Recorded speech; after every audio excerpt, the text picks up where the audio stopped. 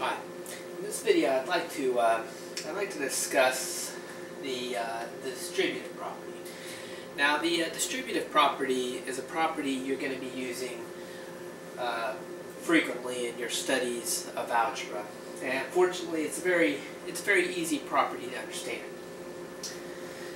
Now, here's the basic format. You're going to have a variable or number times something in parentheses say x plus 1. And what we want to do is we want to multiply these two terms. Now, of course, we can't add what's in the parentheses because they're, they're unlike terms. You can't add an x and a 1. But we still have to multiply it by the same. And what you do with the distributive property, it's very simple. All you do is you take the term that's outside of the parentheses multiply it by the first term in the parentheses. So a times x is a x. Then you take the term outside of the parentheses and you multiply it by the second term in the parentheses. So this is plus a times 1, which of course is just a. So the answer is going to be ax plus a. Now let's try one more just to make sure you have it down. Let's say we have a, a c times 2x plus 2. Okay, we do the same thing we did up here. We take the c, multiply it by the 2x. So it's going to be 2xc. Drop down the plus, plus c times 2.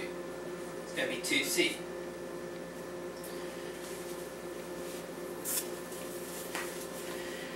Now, since you know the procedure, I want to I want to really quickly show you why does it work. Let's say we have a very simple multiplication problem. 5 times 3. Now, of course, you know this is equal to 15. But what multiplication is, is very, it's, uh, it's a fast way to do addition. This is a short way to write 3 plus 3 plus 3 plus 3 plus 3 equals 15. So multiplication, in essence, is a shorthand for addition. Instead of writing 3 five times, I can just say 5 times 3. In the uh, distributive property, if I have a 5 times a plus 1, the same principle is, is working here.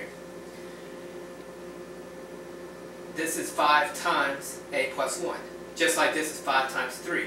I can write the 3 five times. Right here, I can write this whole term right here five times. So it could be a plus 1 plus a plus 1 plus a plus 1 plus a plus 1 plus a plus 1.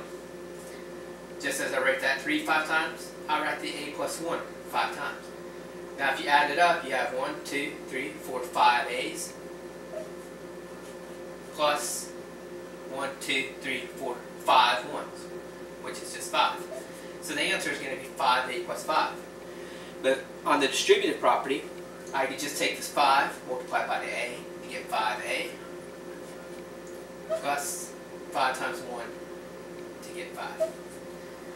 You see it's much quicker to do distributive property than to write out this term that number of times.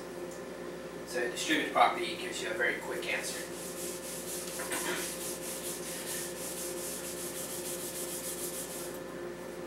Okay, and that is the distributive property. In my next video, I'll cover the distributive property and how it applies to multiplying two terms in parentheses. Thank you. Have a good day.